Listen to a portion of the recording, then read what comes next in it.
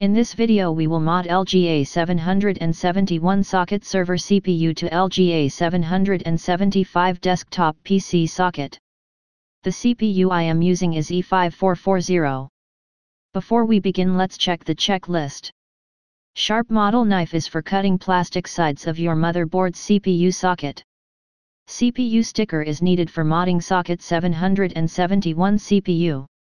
Latest BIOS is needed for microcode injection so your BIOS fully supports the CPU. I will share the link for the microcode link in video info. I have already trimmed the sides of the CPU socket. Be warned damaging your motherboard CPU socket will make it useless. Take your time and slowly trim them. Don't rush it. These are the CPU stickers. You should apply it like shown in the picture. Small triangle should look down other T-like thing should go up. Again be patient and take your time, it is a sensitive process.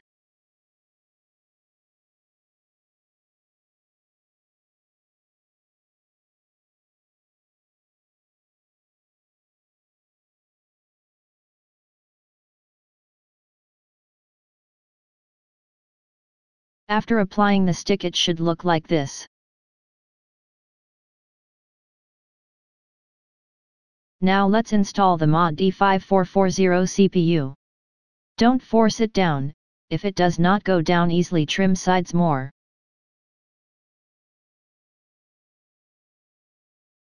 Fingers crossed, let's boot the machine. Great, it is booting an E5440 CPU recognized. But it gives error since your motherboard does not know how fully operate this CPU. You can use it like this but I advise you to install custom BIOS we will make next.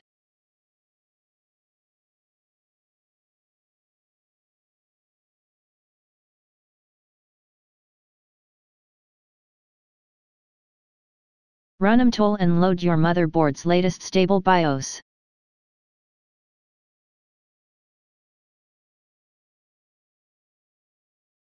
In the ROM info screen take a note of ID 11 size in ROM part. Now switch to CPU patch part and carefully delete the ones I've marked. ID 0F34 ID 0F44 ID 0F47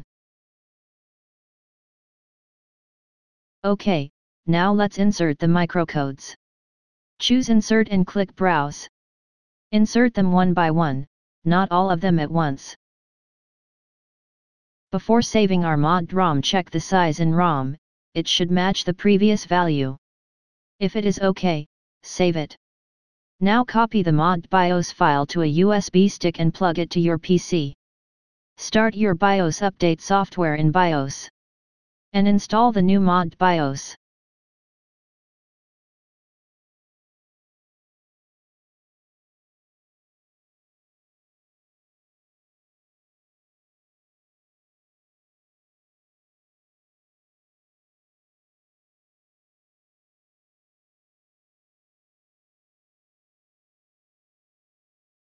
Yes it works flawless, as you can see computer does not gives error about CPU.